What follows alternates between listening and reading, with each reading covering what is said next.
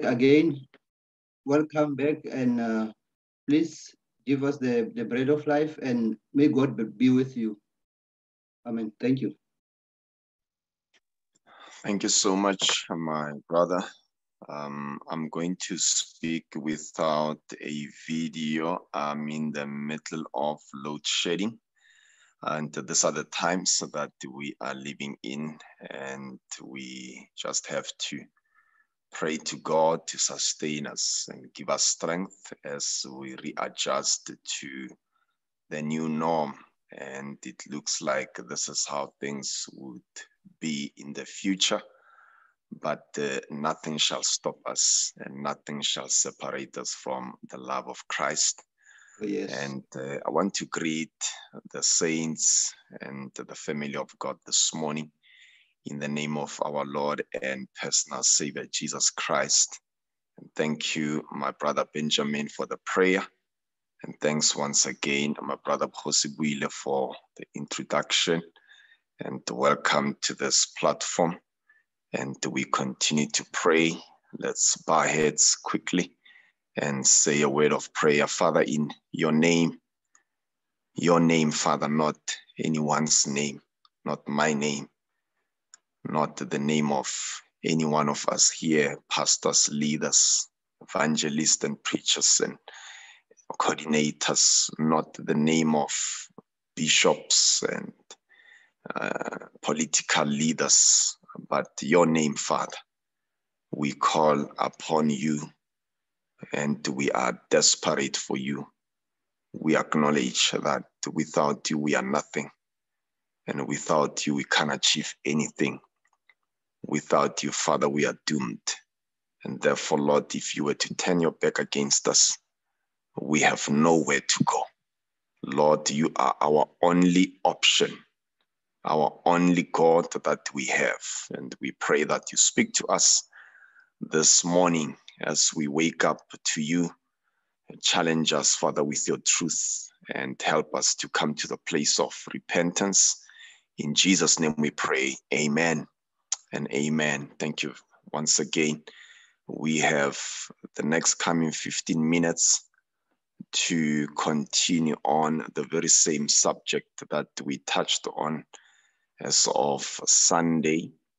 Why prayer? Why now?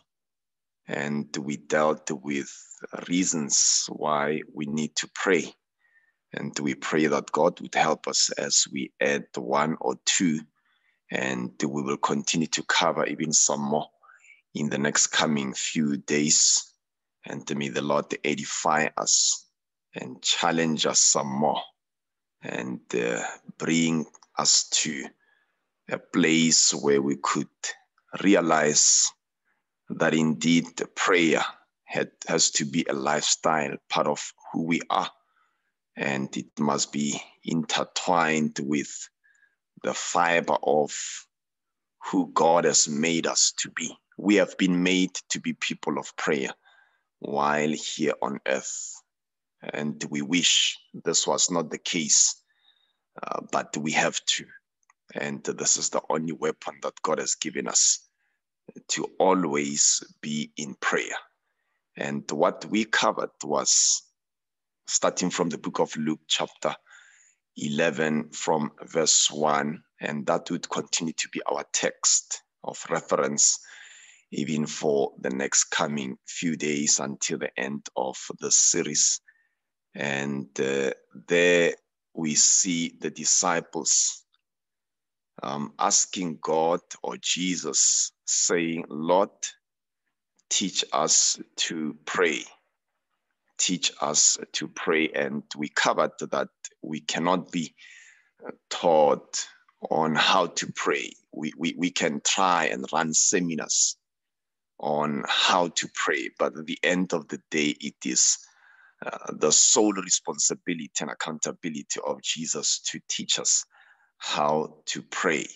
And we covered those few points Number one, that we need to pray because God's word calls us to pray.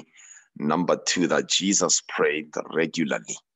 And that prayer is how we communicate with God. And number four, prayer allows us to participate in God's works. And we dealt with the fifth one that says prayer gives us power over evil. And we read a number of scriptures just to support our case. And uh, today I want us to look at at least two more. And the first one that we're looking at, which is number six, is prayer is always available. The reason why we pray now is because prayer is available. We don't need to buy um, prayer. Prayer is there for us. And we have no excuse for not praying, whether there's load shedding, but the prayer is still available. If there's one powerful weapon that God has placed in the hand of his children, it is the weapon of prayer. So we, we can always go to God anytime we wish. And Paul in the book of um, um, Hebrews uh, says to us in chapter 4, when you start reading from verse 14, 15, and 16, and somewhere he says, Let us come boldly unto the throne of God. So we have to come boldly with confidence, knowing that we come into our Redeemer. You see, it's powerful to be on the side of God because you have no guilt. And that's why when you, there are challenges, when there's a mess, you always need to make sure you are covered by his mercies so that you have access to him anytime and nothing stands before you. And the first John 1 9 says, if we confess our sins, he is faithful and just to forgive us. And, and, and that's very powerful. So while we are on this point and understand that prayer is always available for each one of us, but we also have to make sure that we are available ourselves before God.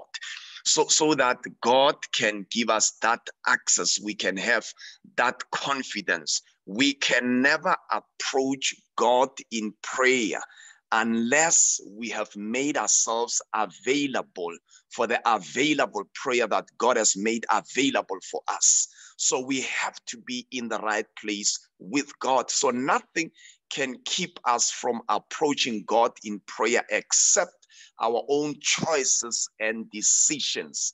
And that's why in the book of Romans, chapter 8, from 38 up to 39, Paul speaks about who and what shall separate us from the love of Christ. And he goes down to say, There is nothing that shall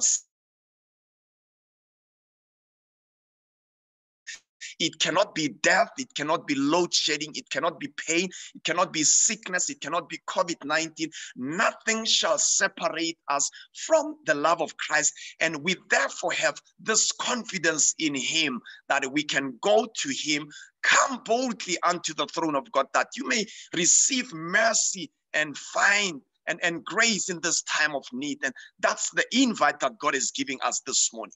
Prayer is always available.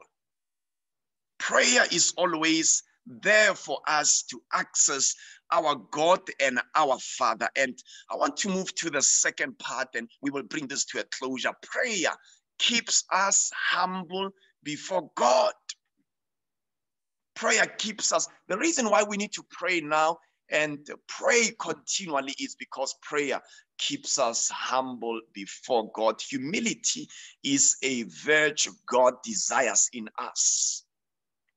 And when you look at the book of Proverbs, chapter 11, verse 2, 22, and verse 4, Micah chapter 6, just take note of those verses. Micah chapter 6 also that talks about justice. And one of those points that God says the Christians, the believers shall have is humility.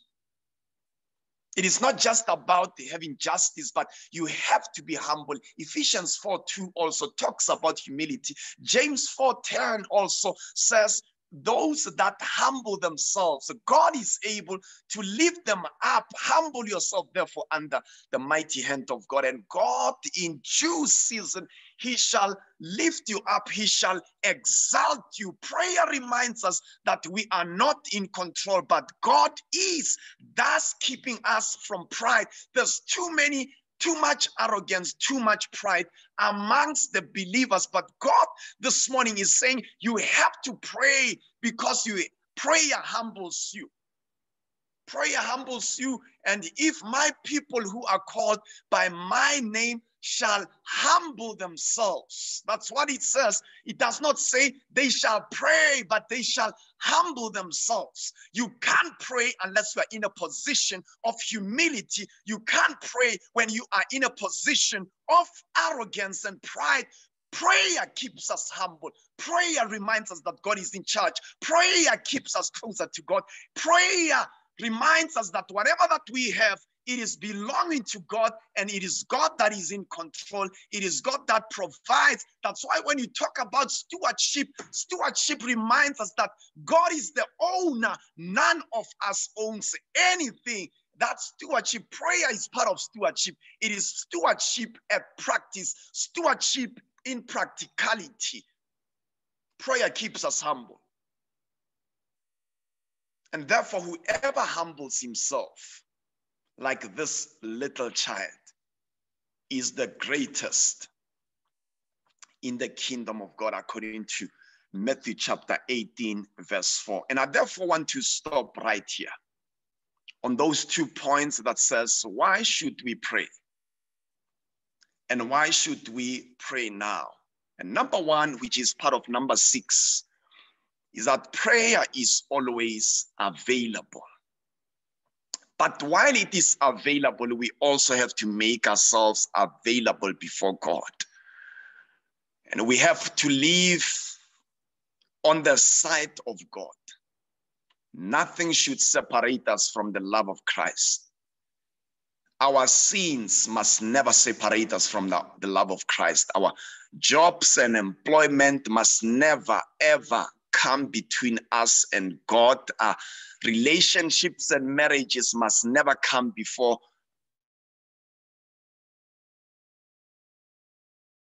Must never come in between our finances must never come between us and God. Nothing vented from praying for whatever reason available on earth because God has given us the network that can never be interrupted by anything. We can call upon Him. Yes, internet can be interrupted, but not the network of heaven. It can never ever be interrupted. Never can it be intercepted by anything we have the available slot anytime we want to approach the throne of God that keeps us humble. So we are approaching this time around to pray. We are humbling ourselves before God. And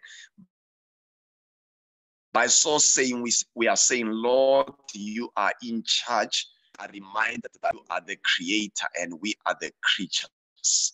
And therefore, whoever humbles himself like this little child is the greatest in the kingdom of God. Our greatness is not in how we demonstrate it, but it is in how humble we become each time we have an opportunity of this nature. Humble yourself, therefore, and in due season, God shall humble shall God shall lift you up and exalt you. May God bless you and keep you. May the Lord edify you. In Jesus' name, let's pray together. Father, once again, in your name, we come and we approach your throne of grace, and we do so, Father, boldly.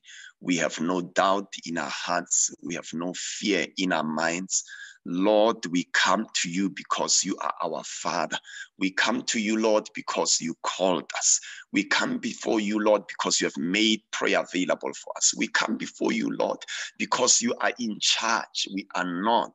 Lord, we want to pray that help us to move away from the driver's seat and allow you, Father, to be the driver as we become the passengers. We want to pray, Father, that you remove us out of our own homes as presidents, Lord, so that we become just residents and you become the president. Preside over our homes, preside over our own lives, preside over own, our own businesses, preside over our own relationships, preside over our own marriages, preside over our own spouses. Lord, we pray that take charge this morning as we humble ourselves and let you be the God that you should be, the God that you are, the God that you always have been, Lord. And forgive us for taking your position, Lord Forgive us, Lord, for our arrogance and our pride sometimes. Forgive us, that, Lord, when we see some success, sometimes, Lord, we forget who has pro- provided.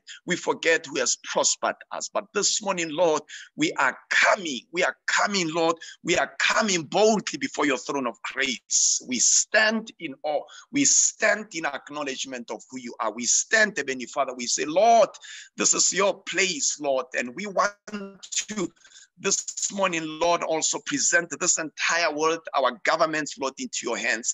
Be God in those governments. Preside over the leaders that you have placed, Father, in place. We pray in the name of Jesus that you be, you be with us, Father, as we move into those prayer rooms. Amen.